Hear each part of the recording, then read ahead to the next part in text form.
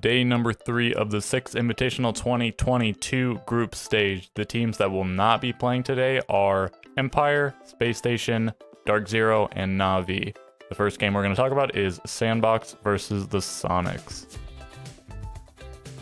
Sandbox versus Soniqs, another pretty close community poll 44% for Sandbox, 56% for Soniqs, and I guess the majority of the voters were correct. Soniqs end up taking it 2 0. For some reason, they keep putting the Soniqs games first, so they just don't want the NA fans to watch them because, I mean, come on, 4 a.m., 1 a.m., that's a, that's a bit outlandish. Okay. Right, what happened in the game? Absolute destruction by the Soniqs, 7-0 and 7-3. So, of course, if we look here, we're not going to see any sandbox wins because they did not get any round wins. And then once we go over to Villa, we see a sandbox win, Soniqs win, sandbox, Soniqs, sandbox, and then we see Soniqs running up one, two, three, four, five in a row to close out the second map 7-3. So we see a seven round win streak on Oregon and we see a five round win streak on Villa.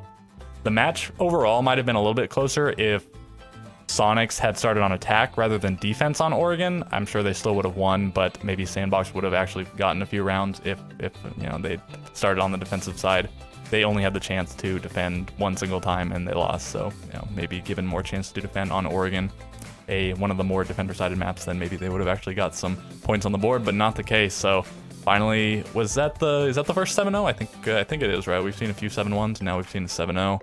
And uh, well, and again, that 7-0 and that five-round win streak on Villa are pretty impressive coupled together. Sandbox seemed to be on the decline. They they won against Ninjas in Pajamas on that first day, and then they lost against MNM on the next day, and now they lost to Sonic. So they have a 2-1 win, giving them two points, and then they have two 2-0 losses, giving them no additional points. So only two points to their name right now, and they only have three more points that they could potentially get. So uh, not looking too good for Sandbox at the moment, and pretty, looking pretty good for Sonic. They have what, four points? Uh, so three points here, and they got one point in their match against Empire, and then they still have six points on the board because they haven't played in Ninjas in Pajamas or MNM. So, right, Soniqs have potential, I guess, still to top their group, but pretty good potential to just, well, to make it out of their group, but also just to place highly first, second, third, whatever it is.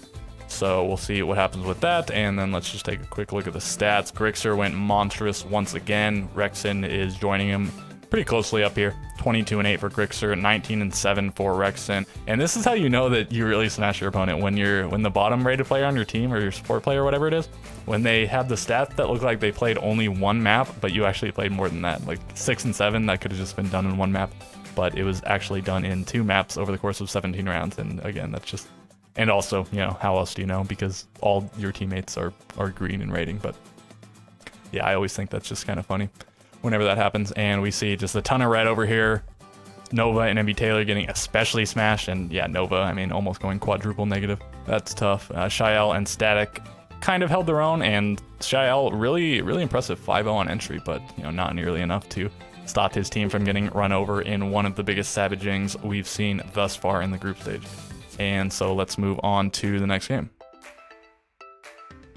So somehow 73% of voters thought that Ninja Pajamas were going to beat MNM Gaming, and well, they got it correct, but it seems like a strange prediction to make based on the way that things have gone. Ninjas in Pajamas were 0-2 going into this, and MNM were 1-0, and MNM's one win was over one of the teams that beat Ninjas in Pajamas, and it was over the team that, uh, well, maybe it would have been better if MNM had, say, beaten Empire, which is the team that absolutely destroyed Ninjas in Pajamas. They MNM beat Sandbox, which is the team that MNM, or sorry, that uh, Ninjas in Pajamas was pretty close with. So, you know, maybe it could have even been a little bit harsher. But right, again, 0 and 2 coming into this, 1 and 0 coming into this, and that's of, of course ignoring pedigree and whatnot. But just looking at the tournament, MNM was up and Ninja Pajamas were down, but now we see a little bit of evening out because Ninja Pajamas takes down MNM 2-0 fashion 7-4, 7-3. So not exactly close.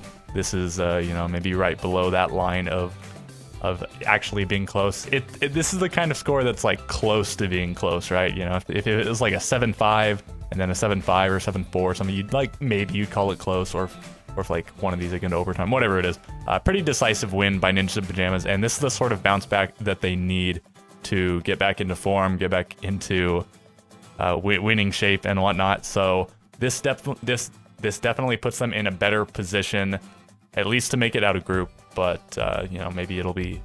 It looks like it's probably Sandbox that's going to be eliminated, and since they organize these games so nicely that they do the uh, the the two games from each group in tandem, I'll uh, I'll show after I cover each set of each set of games. I'll show the standings for the groups. So right after this, I'll show the standings for Group A.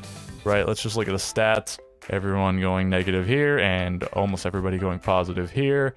Uh, Kamikaze down at the bottom, you know, Hibana smoke player, it is what it is.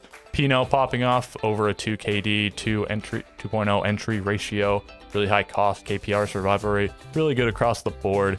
And we see um, Nello, I mean, their their support player, doing the best, which is really never a good sign. Um, you know, you know, your team got absolutely tossed if, well, I guess if everyone has really bad stats, but then also if on top of it, your support player was the the highest statted player. Usually, you know, Tyrant, Usis, and Solotov are just going off, but they could not do it against the Ninjas. So something about how these teams' playstyles matched up, or maybe it was the fact that Ninjas have finally woken up in the tournament, whatever it was. And all right, we're gonna move over to the Liquipedia page that shows the standings, but bear in mind that it's about to be a bright screen, right? This screen's really dark and the next one's like white. So avert your eyes if you must.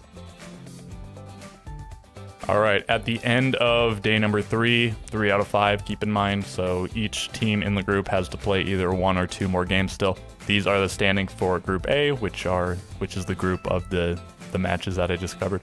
So Empire remains on top, and they've only played two matches, so they are definitely in the best position. If any of these names were uh, highlighted, that means they were locked into a certain thing, but none of them are highlighted. Like if it's highlighted blue, they're guaranteed first place in the group. If it's highlighted red, they're guaranteed to go out of the group, but we don't have any guarantees just yet. So I guess in theory, Empire can still even get eliminated, but it's uh, pretty likely they make it. Pretty likely Sandbox leaves. Um, MNM being the closest to Sandbox is all right for MNM because uh, MNM has the head-to-head over Sandbox, and uh, well, Sandbox has the head-to-head over Ninjas Pajamas. So if I mean, you know, say Ninjas do bad in their last match and Sandbox does well, then maybe Sandbox can leapfrog, leap, leapfrog Ninjas. But uh, definitely the two best in the two teams in the best position are Empire and Sonic, seeing as though they are on top of the group and they each have two games left to play. And then MNM, uh, you know, is also has two games left to play. So I put them probably even a in a better position than Ninjas, but that's a little bit tough to say because they are one point behind Ninjas and they uh, have the losing head-to-head against Ninjas Ninja Pajamas. So, right, these are the scores that we've seen. If you're if you're curious, if you can't remember or whatever, for the matchups, and this will also tell you the the matchups coming up if you're curious about that as well. And right, so let's go back to SiegeGG to continue looking at the other matches. Damwon Kia versus Oxygen. Maybe not before the tournament, you would say that this was a really exciting looking match, but certainly given how these teams how these two teams have performed thus far in the tournament, it was a really exciting looking matchup. Damwon Kia being 2-0, uh, both of those wins as well being 2-0s, and then Oxygen being 1-0 thus far, with their one win being an absolute destruction of Na'Vi.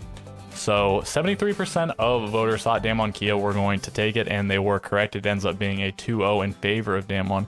Let's see how it actually went down. 8-6 win on Villa, and then a 7-3 on Oregon. What's interesting here is this is actually exactly the same as how Liquid beat Space Station. Same scores and same maps, even Villa and then Oregon. So I don't know, maybe this is telling. Maybe this is the prophecy foretold. Maybe we will see the Liquid versus Damwon Kia in the grand final if they are beating the two seemingly strongest, well, I don't know, maybe they're not the strongest. All the NA teams except for Dark Zero have done pretty well thus far, so but beating two pretty strong NA teams identically, same round count, same map order, same maps, all this stuff. Kind of crazy. Maybe it's fate. Oxygen runs it up in the first three rounds on defense on Villa, so it's looking like maybe Oxygen is going to prove that they are the strongest team in the group, and they just haven't had as much playtime yet as Damwon Kia. They're going to prove that, again, maybe Damwon Kia is a strong team, but Oxygen is stronger. But Damwon answers back with one round, two round, and then Oxygen gets one round back of their own making it a 4-2 half on Villa, pretty standard. But then Oxygen gets another round and then another round. They go to match point already. They're up 6-2 on Villa. They just need to take one more attack, but they cannot do it. Damwon wins four in a row to go to overtime, and then they win two more.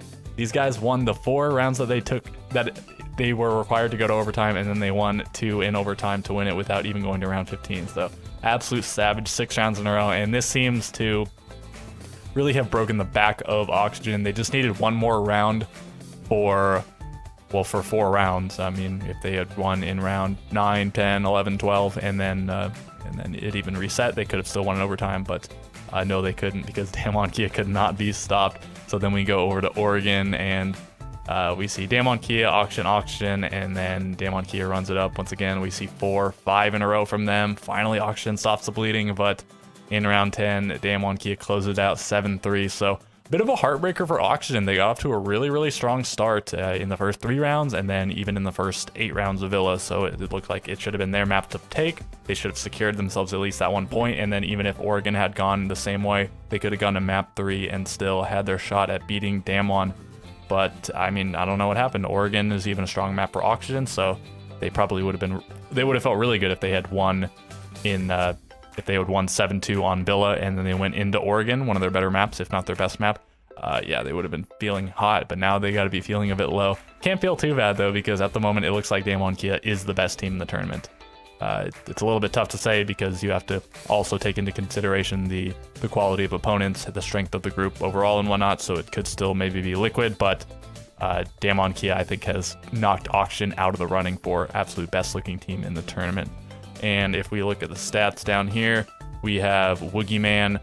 MVP again. I think he's been top of his team in all three of the games, at least two, if not all three. And then we see Kat Sang, so good to see uh, more names up here. I think we've we've seen all of the players do pretty well thus far, except for Yas. I don't think Yas has had a good game yet. He's done like okay in some of the games, but oh well. I mean, he's he's the standout player in the past, and so let's give the other players time to shine. It's usually him or uh, Rin that are the two really big standouts, but so good for Woogieman, Kat Sang, and uh, Coded. Not so much in this game, but one or two of the other games he did pretty well. And then we see Yaga eating up, but uh, Laxing, Egg doing okay, Kino and Vertically doing kind of poorly. And it, it seems like there should maybe even be more of a disparity in terms of the stats, considering the margin that Damwon Kia won by. They won by, of course, you know, two rounds in the first map and four rounds in the second map. But I guess maybe some of the Oxygen wins, a lot of them were pretty decisive, and some of the Damwon round wins were pretty close. Could be the case. I'm, I don't quite remember. And all right, let's continue on. Team 1 versus MIBR. This is one of the more polarized polls that we've seen thus far. Not the most extreme, but certainly one of the most extreme. And people got it wrong. 16% only thought MIBR would win, and MIBR actually end up winning 2-0. So this is a matchup that has a decent amount of history because the teams come from the same region. Not that much history because before about a year ago, uh, LATAM, the teams looked really, really different because a bunch of players and rosters all switched around, all this crazy stuff. But in the time that uh, Team 1 and MIBR have been the current rosters, they've played, you know, at least, what, the three times throughout the, the three stages, if not in if not additional times in the uh, Copa Elite 6, which I'm not not 100% sure if they have or not, but right, they do come from the same region, so they should, they'll have played each other and they should be familiar with each other's playstyles, things like this. And MIBR surprised. So coming in as perhaps the supposed weakest LATAM team, considering they had to come from the closed qualifier, Team 1 being the highest point earners throughout the year, uh, the SI points. And it was, you know, it's fairly close. Two max regulation games, but MIBR won it 2-0, and they didn't even have to go to overtime. So good on them there. They run it up a little bit on attack on Cafe, a bit abnormal, but well, I'm I'm saying it enough in these videos, right, for it to be argued. Is it really abnormal? Attackers are pretty strong these days, at least compared to defenders. And well, you know, obviously, what else are you going to compare it to? So, moving on from there, Team 1 actually answers back with three of their own. So, a 3 3 half with two three round win streaks, one for each team. And then we see two for MIBR, MIBR, MIB, or uh, sorry, Team 1, MIBR, Team 1, MIBR. So uh, MIBR takes a little bit of a lead in the second half, and then they trade rounds, which ends up with MIBR on top. So a bit of a shocker and a big shakeup. I think Team 1 at this point is fairly likely to be the one eliminated from their group, and if not that, then also fairly likely to be the one being seeded straight into the loser's bracket by getting fourth place in the group. All right, let's look at the stats. Finally, Alamau is not on top, but it is Lagonis. Uh, you don't really like to see your support player on top. Like, it, it maybe you see it sometimes, but the way the games play out, it, it just shouldn't happen, really. Your support player shouldn't be in a position to go this crazy. I mean, he, he went the most positive on KD, which of course only plus two, same as Alamau. and he still got four plants down, and he still got a clutch. So uh, Lagonis has his struggles in some games, but not in this one. But I mean, well, wasn't enough to get his team across the line. Unfortunately, the rest of them couldn't step up, and that's been Team One's issue. One of their issues that a lot of their games, a few of their players just don't step up enough. It's just you know one, two, maybe three other players are really stepping up. Sometimes three is enough, but uh, if the fourth and fifth, fifth player are really struggling, sometimes it's not enough. So unfortunate. And then we see Lukid doing the best on uh, on MIBR down here, and then nobody else doing extremely well, but doing well enough to win it. And Lukid and Aligonis actually having identical ratings. Kind of cool to see.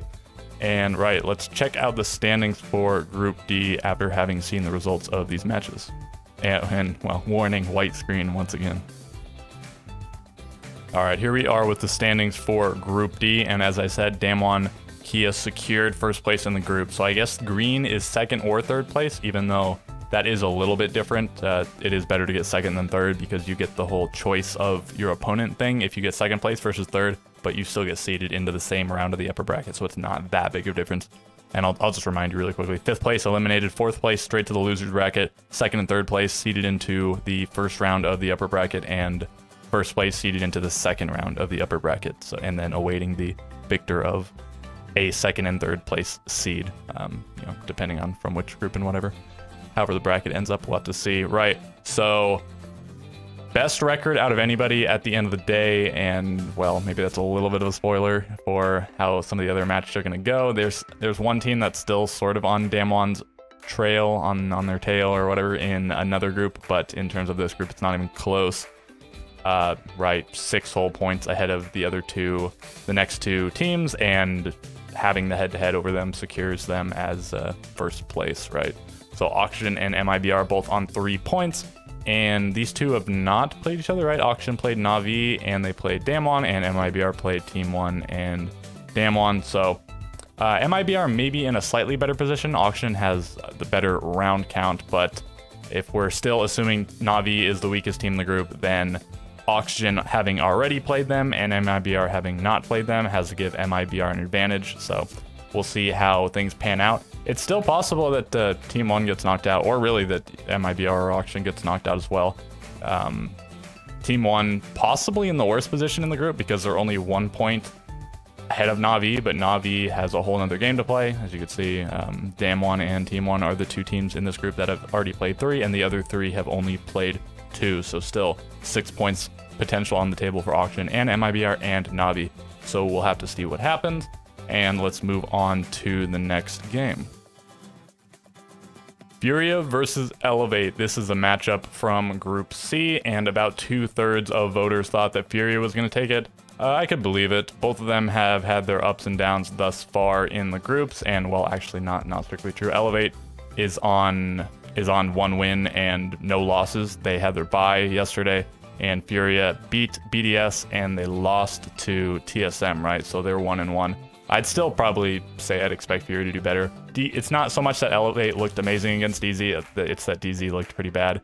And Furia took down BDS not that easily because the first map did go to overtime, but they did 2-0 them. But you also have to take into consideration the fact that they're playing with the coach. So uh, I don't know. It's a it's a bit of a wash and tough to call, but just based on history, international su success, uh, has had some amount, and Elevate has been just absent from international play. So I'd probably still give the edge to Elevate, or sorry, to Furia here. And it it, it is true. Furia ends up 2-0ing. What happens? 7-2 on Bank, pretty decisive. So maybe Furia is just really good on Bank. I was trying to reconcile the fact that BDS went all 15 rounds against, or was it 14? They went to overtime versus Furia on Oregon, but they got 7-1 on Bank. I thought BDS was pretty good on Bank, but you also, I know, playing with the coach, it's a whole different team. But maybe Furia is just really good on Bank, and that's why it was such a destruction. And and I actually don't remember if they started on attack or defense on the um, on the BDS game. If they started on attack, maybe that scoreline makes more sense. Oregon just has a tendency to go to a lot of rounds and Bank, we've seen a lot of uh, actually absolute smackdowns on it. So uh, when teams start on attack, that happens sometimes. Right, 7-2. So um, not nothing crazy here. It's gonna be uh, start at the beginning. It's gonna be uh, Elevate gets a win, but then Furia runs up three wins, and Elevate gets a win, and then Furia runs up runs up four wins. So just a quick 7-2 game. And then on this one, uh, it's a little bit it's a little bit cool to look at. We see two Furia wins, two Elevate wins, but then we see four Furia wins. But then Elevate battles it back. We see four Elevate wins, but then we go to overtime and Furia just takes two. So teams only ever won rounds back to back in counts of two or four. No singles, no threes, none of that. So just two and two and four and four and two, right? So that's how that map went, and that's how that match went. A whole 2-0 for Furia. Definitely what they were looking for. And let's look at the stats here. Right, uh, a lot of red for Elevate, a lot of green for Furia, a little bit of yellow for each of them. Fantasy on the bottom of the board for Furia. Don't see that too often, but, well, I mean, if you're going to underperform, at least do it in a game where you end up winning anyways. Then it doesn't come back to haunt you, right? Uh, Lenda on top of the team, and we see DCH on top of the team for Elevate. I don't think anything too crazy to look at here. Um, yeah, nothing uh, nothing that I really see. 87% KOST is super solid. And right, let's move on to the other game from this group. BDS versus TSM. So if you didn't know anything about this going into this event, this is this has to be one of the matchups you'd be the most excited for. These are just two of the big names in Siege. BDS pretty well the kings of Europe at this point, at least uh, regionally, just undisputed, and then internationally, you know, it's them and Empire. And then TSM just are they the biggest Oregon Siege and then just one of the absolute powerhouses of NA for quite a long time? Had their struggles a little bit recently, but they seem to be back in good form. And well, BDS has been playing with a coach. Rafal was out of the tournament, and I said he was completely out of the tournament because that was my understanding on the matter. But he's back now. They resolved whatever the issue was, and we still at, at this point don't know what it was. So a lot of people thought this was going to be a really good match, and and you might think that, oh, BS back at full strength, but you have to take into consideration the fact that, I mean, it's entirely possible they weren't even scrimming with Rafal. They thought he wasn't going to come back, so they were just scrimming with Bios, their coach. And uh, so just all this weird chemistry stuff, and they're out of practice by at least some amount.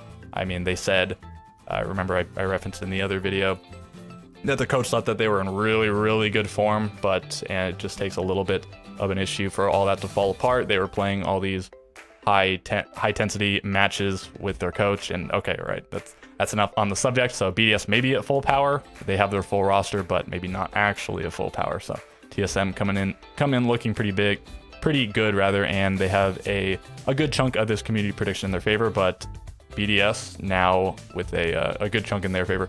And I imagine this poll was also done thinking that the coach would still be playing. So maybe that would have skewed it one way or the other. Hard to say, but TSM looked pretty good coming into this. So 7-1 on Bank, 7-5 on Oregon. TSM cleans it up 2-0, no overtime or anything. And another destruction of BDS on Bank, another 7-1. This is the same thing that Furia did to BDS, and that, that was with the coach. And now TSM did this to them without the coach. So, I mean, is BDS just really bad on Bank now? TSM is really good on Bank from what we've seen. Uh, when they played in the qual, they were quite excellent in uh, the one time. I think they only played it one time in the uh, in stage three, but they was that a 7-0? Did they 7-0 on it? They might have. Right, and then we go to Oregon, which they goes to max regulation, but still. Oh, actually, let's look at this one first.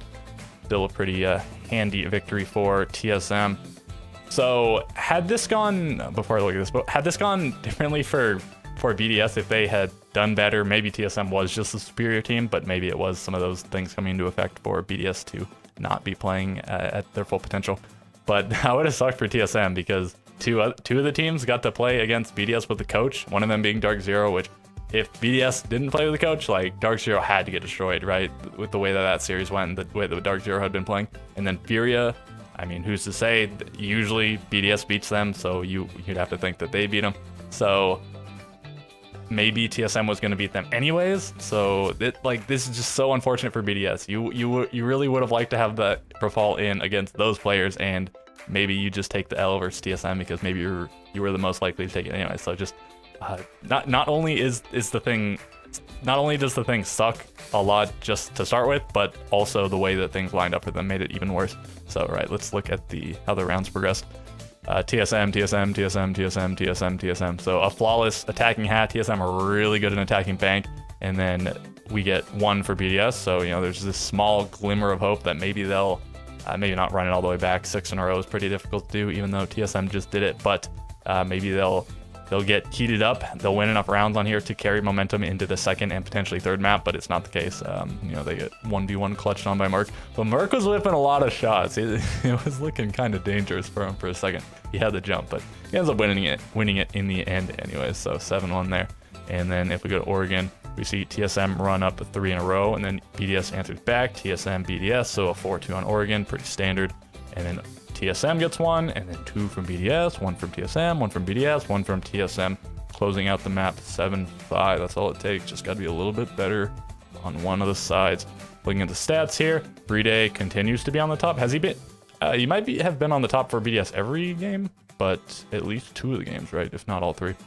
And then Merc, really good. Beaulo, really good. Achieve, really good. Yeah, everyone really does really well, except for Chala, sort of suffered in this one, but oh well, it is what it is. And so now let's check out the standings on a very bright white screen for Group C. Here we have the standings. So TSM and Furia have this greenish background or yellowish or whatever you want to call it. I think that means that they're secured to make it out of the group. So they're not guaranteed to be in any certain position, but neither of them can get eliminated from the tournament anymore. So it's going to be Elevate or Dark Zero or BDS. BDS certainly in the worst position considering they are at the bottom of the board and they've played the most games of anyone down here. So Elevate still has two games to play. Dark Zero still has two games to play. BDS has only one game to play. And they have the losing head-to-head -head against Dark Zero and it's Elevate that they still need to play against. So they really need to do well against Elevate. And and I think is the only way that they're getting oh, I guess there's multiple ways that they get out. If they if they get a win versus Elevate and Dark Zero gets no more points, they can pass Dark Zero, or if uh, BDS gets a 2-0 win versus Elevate and Dark Zero gets no more than one point. There's a few different ways. It seems most likely it's going to be BDS gone, which is a shame. It would be cool to see them uh, I mean, win solidly against Elevate, and then either Elevate or Dark Zero gets eliminated because that's probably more deserving to happen. And probably Dark Zero at this point is the most deserving to be eliminated because I still think that uh, given that they now have their full roster, it's entirely possible for BDS to make quite a deep bracket run, and it would be a shame for us to not get to not get to see it.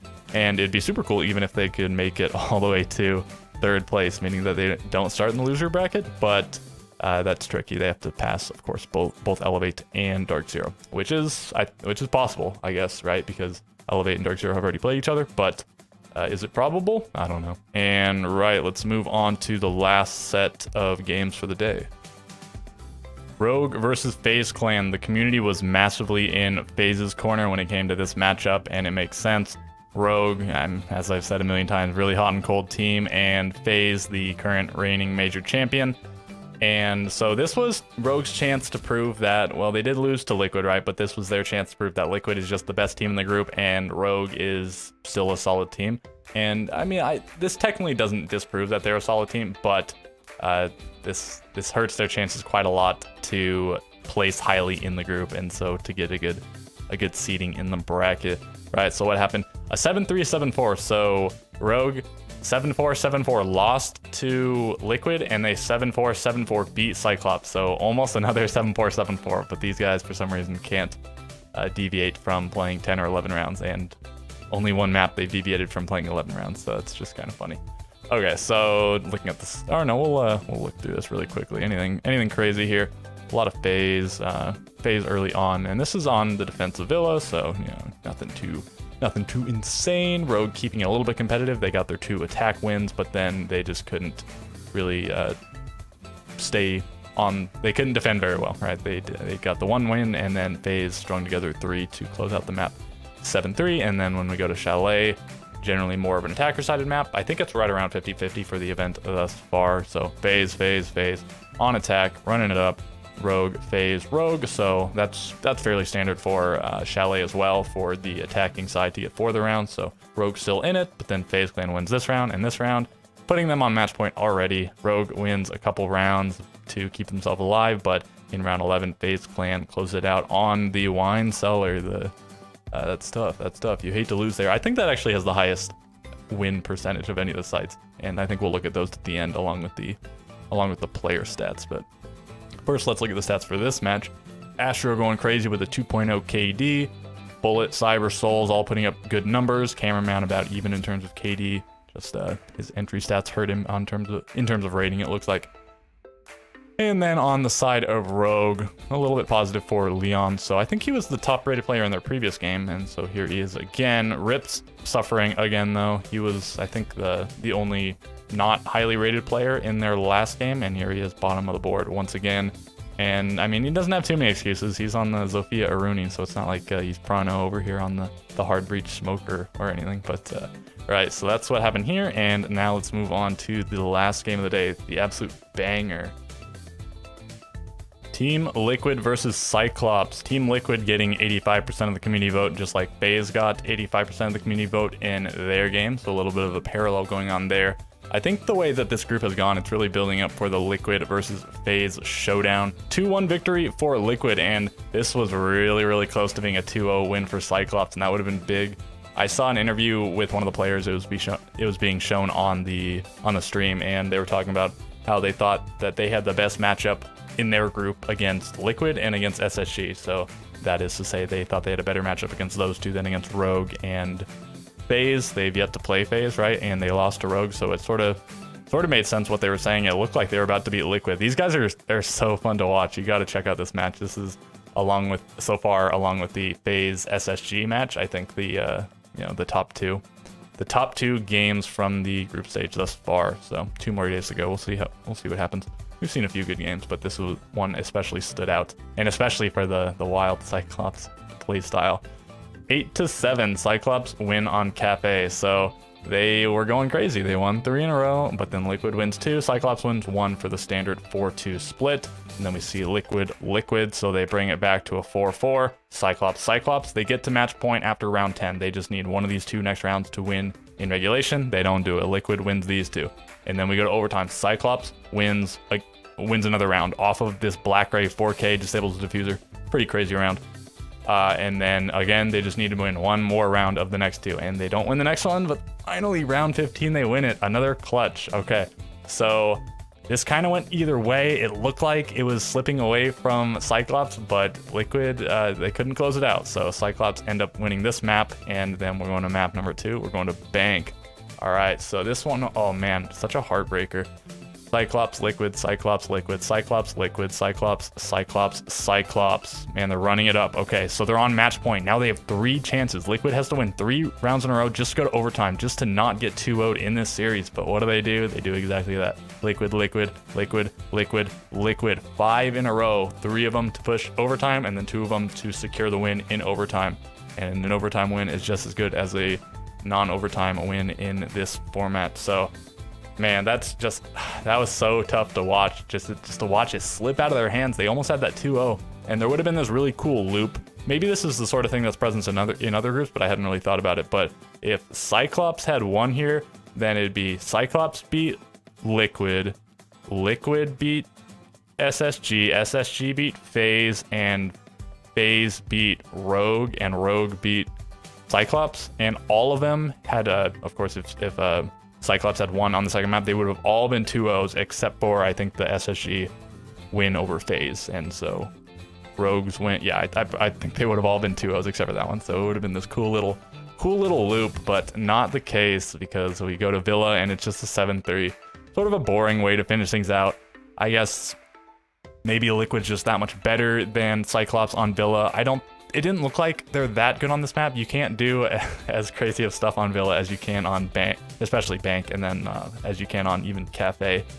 And so maybe maybe Liquid was just that much better than Cyclops. Maybe Cyclops was running out of steam. Maybe Liquid was figuring them out. Whatever it was, uh, just Liquid stood stalwart in the end, and just none of these teams in the group they just don't have the grit to beat Liquid. They're just oh man, they're just so good. They're they're so tough to take down, and and man, with Cyclops close, they just couldn't get there. Are we on? We're on Villa. Okay. Liquid, Cyclops, Liquid, Liquid, Liquid, Liquid, Cyclops, Liquid, Cyclops, Liquid. So a little bit of a streak here in the middle, and then other than that, they just traded favorably. But four in a row, nothing to uh, nothing to sneeze at. And then if we look at the stats here, Black Ray went pretty crazy. Ayagator had there was like one one round where I, I especially he made some crazy flick and yeah this guy's going insane. These guys run a lot of LMGs and so does everybody. But they had there was one round on Bank where they had three LMGs. Uh, most teams will have like two. I think they had it was like Zofia, Capitão, and Finka or something like that. And uh, yeah, just we are full force in the frag LMG meta, and people are really going off about it on Twitter, talking about changes to frags and LMGs and yellow pings and all this stuff. Right, so we see the Nesk Palu duo remain strong once again. I think in the previous series, I didn't mention this, Palu went plus 1,000 lifetime on kills. First player to do it, only player to have done it. I think Nesk is not that far behind him, but a decent way behind him. And so uh, Palu going crazy. Nesk going a little bit more crazy in this particular series, though. PSK finally has a pretty good series of its own, and then Asking resets just below the 1.0 at the 0.97. A lot of red over here on Cyclops. Less than a 0.5 KD on Gatorada. And yeah, just heartbreaker for Cyclops. Heartbreaker of a match to watch. I was really rooting for Cyclops because uh, of course, you didn't want to. You didn't want these guys to come in and get popped. They lose to Rogue, so you're thinking, oh, maybe these guys are just bad. If they're already losing to Rogue, surely they're going to lose to SSG and Liquid and FaZe. But they almost beat Liquid, so I'm excited to see the Cyclops game versus the other ones. Of course, I can't root against. I can't root for them against SSG, but I sure can against FaZe. So we'll see how that progresses. And let's take a look at the bright white standings for this group, Group B. For the final time, for the final group of the day, here we are looking at the standings, and still we'll look at uh, just a few player stats and the map stats after this as well. If you're curious, stay tuned. So we have Liquid secured into, I guess, third place or better, so they are secured to be seeded into the upper bracket, not 100% guaranteed to make it as first seed just yet, but quite close. So they are currently the only other team that is anywhere near Damwon Kia in terms of points. They're on eight. Damwon is on nine. The next closest is what, like six? Five. Well, I guess I can just check. But we see five for Empire, six for TSM and Furia, and yeah, that's the only other teams that are even close. So TSM, as of now, are the only other team besides Damwon that haven't dropped a map, and TSM, Liquid, and Damwon are the only teams that haven't dropped a series. No, wait, Empire as well hasn't dropped a hasn't dropped a series. So four teams haven't dropped a series, two teams haven't dropped a map, and where were we? Group B. Okay, so Liquid has already played three games, and so has Rogue, and uh, so FaZe Clan, Space Station, and Cyclops still have the potential each for six points. Space Station and Cyclops, their game, which is on, yeah, it's actually tomorrow. This is going to be a really important game. If Cyclops can win it, uh, that'll be massive for them. If Space Station can win it, they are pretty safe.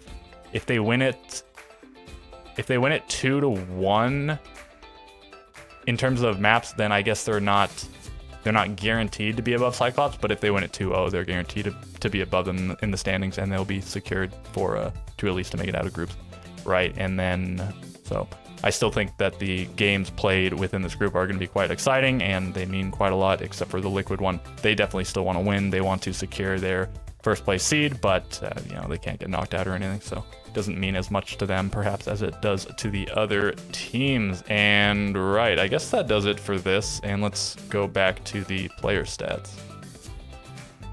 All right, here are the player stats leaderboards. We have Gryxr on top of the rating. This was Foxay before, but uh, his his devastating loss to Damwon Kia has brought his rating down quite a bit. But Gryxr remains on top, even though his team is what one and one his rating is absolutely insane overall, right? So they still have two more games to play, so he has potential for his rating to go up. That's pretty difficult. He has a lot of potential for it to go down. We'll have to see. And then we have Nesk and Palu, the the faithful duo up here. Woogie Man, the man who's uh, secured Damwon's dominance thus far. And then Foxay's rating uh, remains pretty high, mostly off the back of his first day performance. And then KD, Nesk, and Palu, and then we see Gryxr, Woogieman, and JR, surprising. He's way up here despite his team not uh, being so impressive thus far. This is, this is especially coming from the first game that they played against Elevate. Everyone on his team didn't do that hot, but he went like plus 16 or something. And then entry, so Nesk way above everyone else, and then Foltz, Gryxr, Alamau, Pamzu all on plus 9, all respectable numbers here. And then once again, Nesk KOST highest 82%. So not only was he going massively positive on KD and entry, he was having an impact on the highest number of rounds of any player. Then Laxing Foxay, pretty high as well. DCH, um, a little bit of an outlier. And then, well, here's Gryxr again. Clutches, we see Woogie Man with the most clutches of anyone. Bios is a notable one. This was the coach standing in for BDS. And then we see a, a few coming out from Alamau, which is I mean, he's not really even a support player for Team One, right? He's like, he's not, but he also plays the smoke, which is like the support operator on defense. So I suppose he'd be in a lot of clutch positions. And then Katsang and Prano. And then for plants, we see Damwon's coded on top, Bride, Ask, Super, Skies. So these are some of the guys that generally get a lot of the plants down. So these numbers make a lot of sense. Super was on top, and then he got no plants in this last day. So, you know, he just he didn't fall completely off, but he got his first place spot usurped by a few players. And then let's just look at the full stats really quickly. Gryxr, Nesk, Palu, Woogieman, Foxe, Yaga. So just some of the teams that have done pretty well thus far. And a few standout players, Astro and JR. And I don't really care to read all these. I'll scroll through this a little bit slowly in case you want to glance at it. And we're getting the colors decaying. It's turning yellow or whatever. Man, this can take so long. There's a hundred of them. Who's at the bottom? That's what we got to see. No, it's it is what it is. Yeah, there's rips. He's it's been unfortunate for, for him. And then Gatarada, um, you know, same same sort of thing. Renshiro's really suffered for whatever reason. More so, you know, his whole team has because of the situation, but him more so statistically than anyone else. Harper, Nathan, I mean, just a lot of support players down here at the bottom. Bosco is usually a pretty highly rated player on land, but unfortunately not for this land, so that's tough to see. And then finally, we have the map and site picks. So uh, let's take a quick look. Let me just look over them. So yeah, everything is within the range of 40% to 55%. So some maps are even pretty heavily attacker favored, and none none are crazy defender favored. Oregon being the most defender favored, and uh, then Villa Cafe, right? So mining, dining have the highest win rate by far for defense on Cafe, but it also has the fewest uh, plays, so you gotta take that into consideration. Everything else around 50%. Villa, really poor living library win rate. That's, uh, I guess, one out of the eight times it's been played. It's been one, and then everything else a little bit above 50. So that all evens out, makes sense with the overall win rate. And then which maps? So I guess they're ordered by the number of plays. So Chalet is the least played. That's a little bit surprising. I feel like a lot of teams like Chalet. I would have thought Bank would have been the least played, but I or maybe Coastline as well. People don't really tend to like Coastline these days.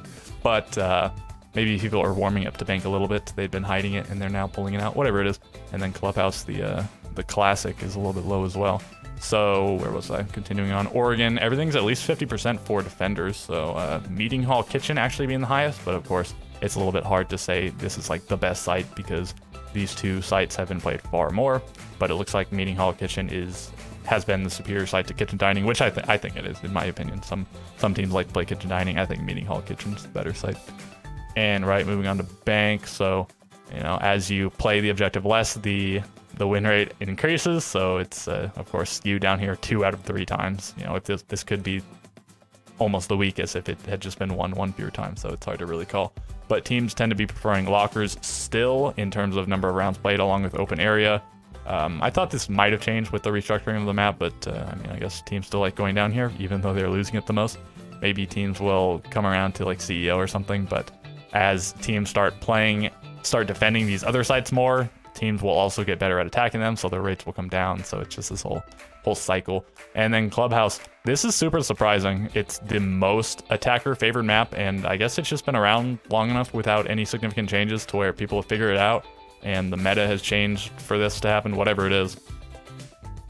The sites besides the basement are just near undefendable. Like, look at this, Cash CCTV, that's what, three wins out of 19 or something like that? Is that, uh, that might be right in the master bedroom 3 out of 15 and bar stage 2 out of 7 uh, church arsenal really high defensive win rate. It's actually the highest out of all of them except for what just mining dining which is a little bit of an outlier but uh, so yeah of all of the heavily played sites it's by far the most defender favored so that's interesting to note. I guess just when you can't get fragged through the floor and you also can't be breached above uh, you you can of course sort of reach above the basement, but only really in the in the kitchen and the hallway over church and uh, over blue and whatnot. You can't do any any top down. So I think those are probably big factors that go into that. And then coastline really even. So 50% on all three of these, and then blue sunrise just slightly attacker favored. So that's a bit strange to note. I think uh, it does make sense though. Coastline was always attacker favored, but now with the a little bit of a change to VIP, the window becoming a wall um, made it more defender favored in theory and also it looks like in practice.